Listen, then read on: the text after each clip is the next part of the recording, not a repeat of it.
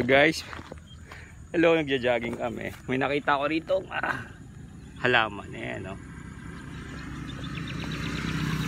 Sabi din nila mahal daw to sa ibang bansa. Ayan. So guys, anong tawag sa inyo nito? Oh, para siyang kamakamatis.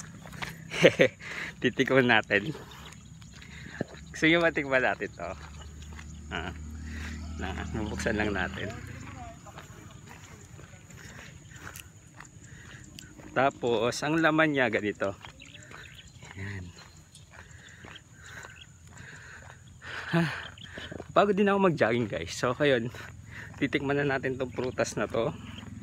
Hindi ko alam kung anong tawag. So, pwede na siya kasi ano, medyo yellowish na siya to pa-brown. So, ayun, hinog na siya. Ay, yung kakainin yung green nito kasi, iba yung lasa. Tapos sabi nung iba, nakakalasan daw to. Pero, yun nga, napanood ko sa ibang bansa, mahal. Dinadrive nila to, tapos ayun, naka-box. Yung iba naman sa Middle East nakita ko, ah, nilalagay nila to sa kanilang excuse me sa kanilang ah, pagkain. Pang toppings yun and pang design. So ayun titikman na natin guys ah. To. So pagdasal nyo guys. Pag ako hindi na ako nakapag upload yun pagdasal joke lang ito na hmm. Hmm. So ayun. Manamis namis siya. Na may asim. Ganun. Pag siya ganun kahinog. So tapong ko yung kanyang balata. Pero nakain naman yung balata. Ang aga kasi. So yun lang guys. Balitaan ko kayo mamaya kung ano pa yung nakita ko ditong mga pwedeng mga wild fruits or wild berries na makikita sa mga bukid. So, ayun guys, ito. Yan, jogging, jogging mode lang. Para healthy pa rin tayo, di ba? So, ayun. Yun lang naman. Yan. Sa bukid tayo. Jogging, jogging.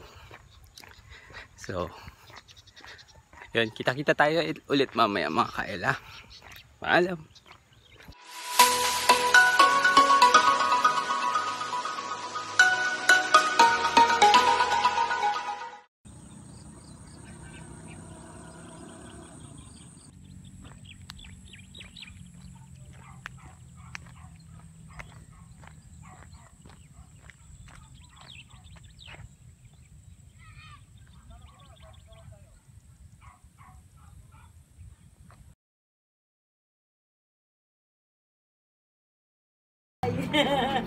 Ilabas niyo na ako kasi siguro. Saan ba niyang ganyan?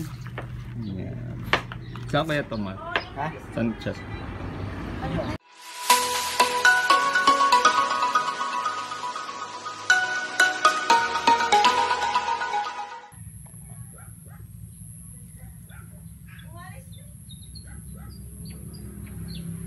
Tumana, marami yan.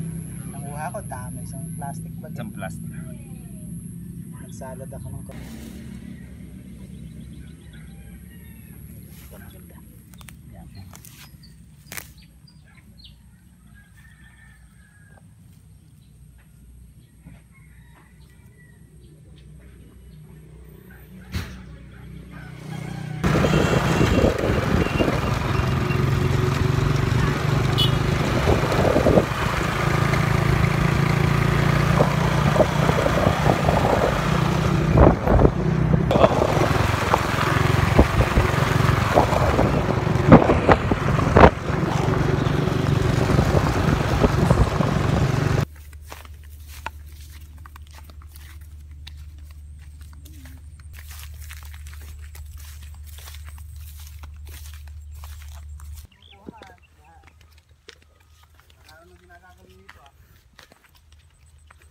Blue ternate. Patanim nga sila isang puno.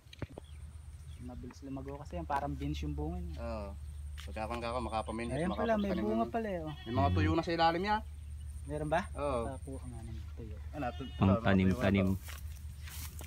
Ako, mamimili ka ako. Makapagtarim ng sambalang na bahaba-haba. Ito pala, Del, may mga tuyo eh. Pwede kumuha ng pangtanim dyan. Hmm. So ito guys, yung blue tear natin, ito yung bunga niya. Hmm. Yung- Kumana, kadain na ito. No. Hmm. ang tawag na may competes, kung tawagin nila. Tumana, marami na ito. Damo lang sa tumana. Oo. Meron pa isang kamukhang bulaklak, kulay violet naman. Isang kanya, klase niya. Hindi ko malaman kung pwede rin yun.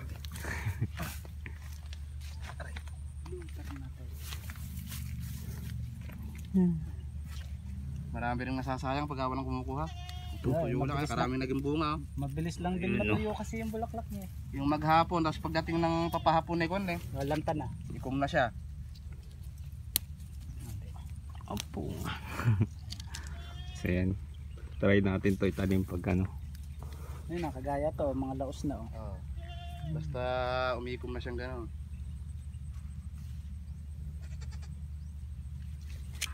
Kambing niya.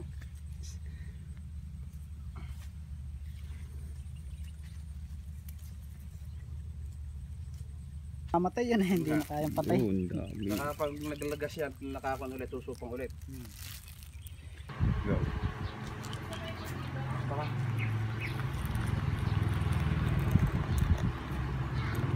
Ay, ang ganda ng kulay. Dami masyado. Nagilas naman kumulay, ano? Ilang piraso yan. Tumis! Yan no! Yan no! Tumis! Sarap. Tames. Sira ulo.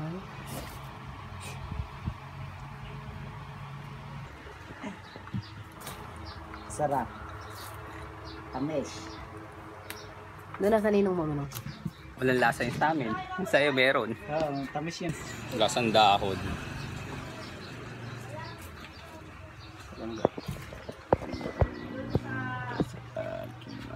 Haluin mo para maano yung syrup. Magdali mo na di orungen. Saka kumuha ng panghalo. Wala ka ba yan?